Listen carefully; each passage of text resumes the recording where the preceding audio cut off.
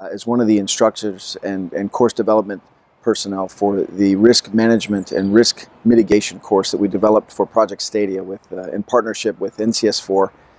uh, which is the National Center for Spectator Sports Safety and Security, and uh, Interpol Project Stadia. The, the purpose of this course is to train, really to equip police leaders uh, with the abilities and, and skills that they need to, to keep